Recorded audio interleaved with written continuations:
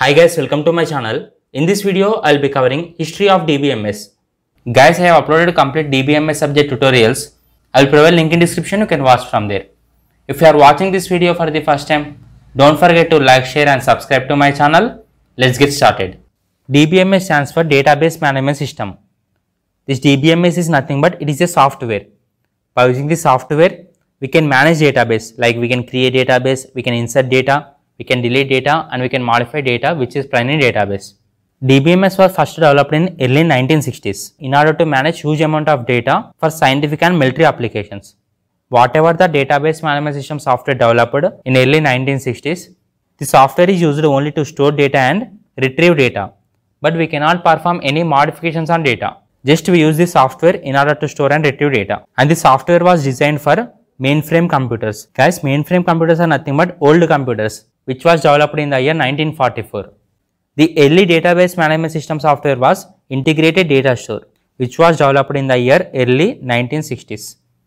We call this early database management system software as Integrated Data Store.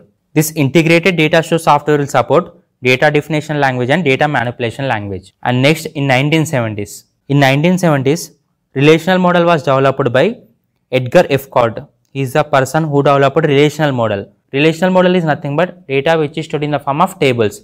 That is, in the form of rows and columns is known as relational model. In relational model, we can use normalization. Normalization will improve data integrity and eliminates data redundancy. The first relational database management system software was developed by IBM in mid 1970s. Some of the popular relational database management system softwares are Oracle, Microsoft SQL Server, MySQL, PostgreSQL. All these are examples of relational database management system softwares. And next, in 1980s, actually there are some disadvantages in relational database management system. So, in order to overcome these disadvantages, object-oriented database management system was introduced.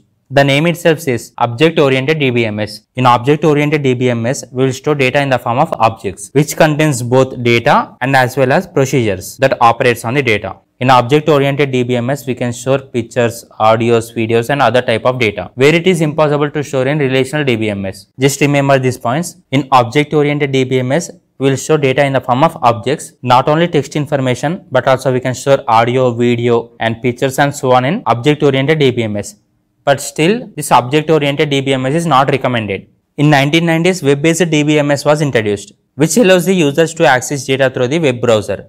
Directly by using web browsers like Google Chrome, Firefox, we can access databases and also we can perform various operations on databases in internet itself. Even though if users are in different locations and users are using different systems, users can easily access database through internet. And next in early 2000s, NoSQL database was introduced. This NoSQL database use non-relational data models. In NoSQL database, we will not store data in the form of tables. In NoSQL database, we will store data in the form of classes and objects. For example, I want to store two records in relational database. One student name is Raju and age 25. So I can store that information like Raju and 25. Next time, I don't want to store age, I want to store rule number of another person. That person name is Ramesh. So again, name column is already present so I can write here Ramesh. Again I need to create rule number column in order to store rule number of Ramesh. So I am storing rule number that is 55.